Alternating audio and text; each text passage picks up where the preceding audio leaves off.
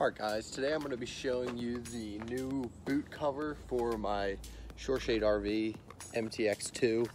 It basically keeps the um, shade from deploying while you would be driving. Before I had some straps on there, but now it's nice and enclosed, keeps it nice and tight.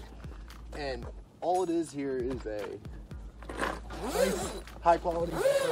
Slides right on and off. Comes off just like that, you'll see.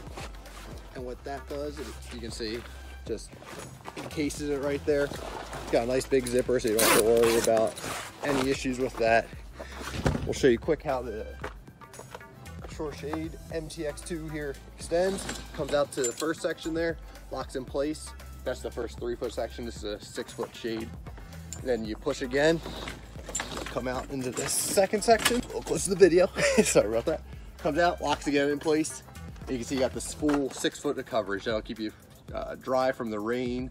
Uh, if it's real sunny, you can work on your tackle or whatever you're um, into there. Then I have these little clips here to allow it to deploy. Hit the two of those buttons. It'll retract its first three foot right there, as you can see. And then you push it in for the second three foot. Locks into place, and we're gonna put our boot back on.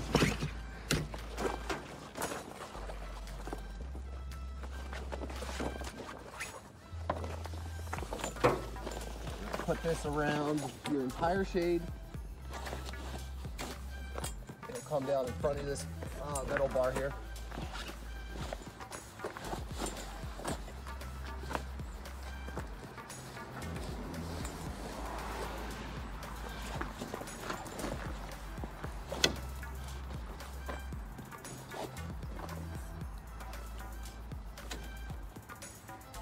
You'll take that big zipper, line it back up.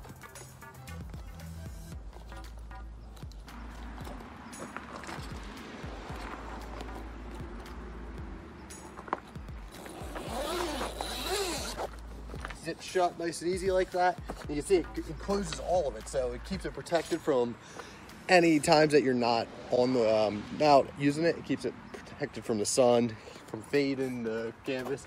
Keeps it all in there nice and tight. You can see it's got a good amount of tension on it, so then you don't have to worry about it whistling or anything when you're driving. So make sure you check out the SureShade RV MTX2 and the new boot they have coming out with it. Thanks.